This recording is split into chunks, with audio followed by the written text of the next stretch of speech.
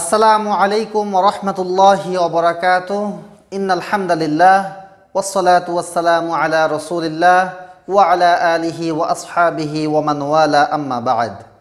প্রিয় দিনী ভাই বোনেরা, মুস্তাফিজুর রহমান মুয়াজ বলছি, আশা করি আল্লাহ তাআলার অশেষ রহমতে আপনারা সকলেই ভালো আছেন এবং সুস্থ আছেন।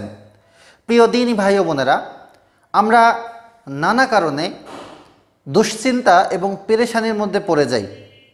আর দুশ্চিন্তা এবং পেরেশানি ধীরে ধীরে আমাদের শরীরকে নষ্ট করে দেয়, আমাদের চেহারাকে নষ্ট করে দেয়, আমাদেরকে কুড়ে কুড়ে খায়।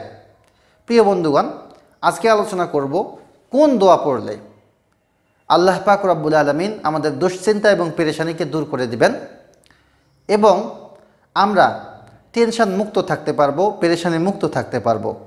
তো প্রিয় বন্ধুগণ, আজকে যে দোয়াটি সম্পর্কে আলোচনা করব সেই দোয়াটি উল্লেখ হয়েছে পবিত্র কোরআনুল করিমের সুরা আল ইমরানে। দোয়াটি খুব সুন্দর এবং সহজ একটি দোয়া। দোয়াটি হলো, হাসবুনাল্লাহু ওয়ানি'মাল ওয়াকিল।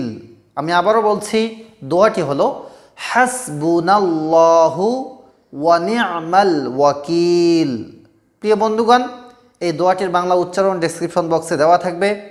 আপনারা একটু চেক করে নেবেন এবং দোয়াটি মুখস্থ করে নেবেন ইনশাল্লাহ এবং যখনই এরকম পেরেশানের মধ্যে পড়ে যাবেন, দুশ্চিন্তা আপনাকে তাড়া করবে, তখন আপনি এই দোয়াটি বেশি বেশি পাঠ করবেন এবং মহান আল্লাহ পাক রব্বুল্লা আলমিনের দরবারে মোনাজাত করবেন যে, হে আল্লাহ, আপনি আমার দুশ্চিন্তা এবং পেরেশানিকে দূর করে দিন এবং আমার সমস্ত প্রকার সমস্যা সমাধান করে দিন।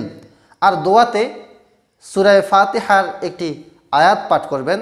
সেই আয়াতটি হলো ইয়া কানা আবুদু ওয়া ইয়া কানাস্তাইন আমরা আপনারই ইবাদত করি এবং আপনার কাছেই সাহায্য চাই।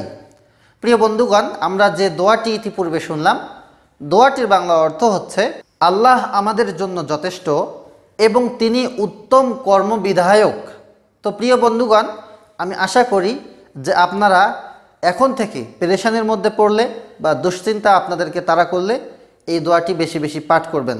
আল্লাহ পাক রব্বুল আলমিন আপনাকে, আমাকে, আমাদের সকলকেই এই দোয়াটি বেশি বেশি পাঠ করার তৌফিক দান করুন। আল্লাহ আমিন। তো প্রিয় বন্ধুগণ, আজকের ভিডিওটি এ পর্যন্তই। আশা করি ভিডিওটি আপনাদের ভালো লেগেছে।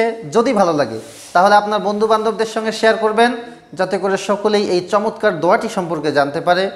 আপনার কারণে যদি কোনো একজন মানুষ ইসলামের একটি বিষয়ও জানতে পারে ইনশাআল্লাহ মহান আল্লাহ পাক রব্বুল আলমিন আপনাকে অনেক সব দান করবেন। তো প্রিয় বন্ধুগণ, এজন্য ভিডিওটি শেয়ার করবেন।